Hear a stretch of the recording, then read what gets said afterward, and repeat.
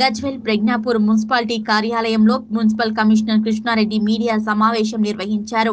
ఈ సందర్భంగా ఆయన మాట్లాడుతూ వర్షాకాలం ప్రారంభమైన సందర్భంగా ఇంట్లో నిల్వ ఉన్న నీటిని పూల తట్లలోని నీటిని టైర్లలో నిల్చి ఉన్న నీటిని తొలగించాలన్నారు.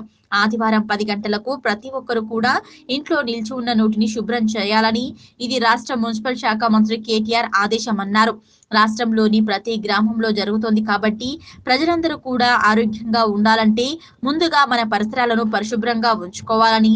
ఒకవేళ నీటి నిల్వ ఉంటే దోమలు పెరిగి చికెన్ గున్యా మలేరియా టైఫాయిడ్ వంటి రోగాలు వస్తాయన్నారు. కాబట్టి ప్రతి ఒక్కరు కూడా పరిశుభ్రతను పాటించి తమ విలువైన ప్రాణాలు కాపాడుకోవాలని ప్రతి ఒక్కరు కూడా తమ ఇంటి ముందు ఇంటి లోపల పరిశుభ్రంగా ఉంచుకోవాలని కోరారు మున్సిపల్ కమిషనర్ కృష్ణారెడ్డి. వర్షాకాలం స్టార్ట్ అయింది కాబట్టి సీజన్ చేంజ్ అయిపోయింది. గతంలో ఎండాకాలం ఉండేది. ఎండాకాలం నుండి బాడీ టెంపరేచర్ అన్నది తగ్గి ఆటోమేటిక్గా బాడీ లోపల మార్పులు అనేవి జరుగుతాయి కాబట్టి అంటువ్యాధులు అలాగే బాడీకి ఫీవర్ రావడానికి ఛాన్సెస్ ఎక్కువగా ఉంటాయి కాబట్టి ఈ వర్షాకాలం దృష్ట్యా మెయిన్గా ముఖ్యంగా సీజన్ స్టార్ట్ అయ్యే మూమెంట్ లోపల రకరకాల వ్యాధులు రావడానికి ఛాన్స్ ఉంది. సో వాటన్నింటికి కూడా దూరంగా ఉండాలంటే మీరు ప్రికాషన్ మెజర్స్ తీసుకోవడమే.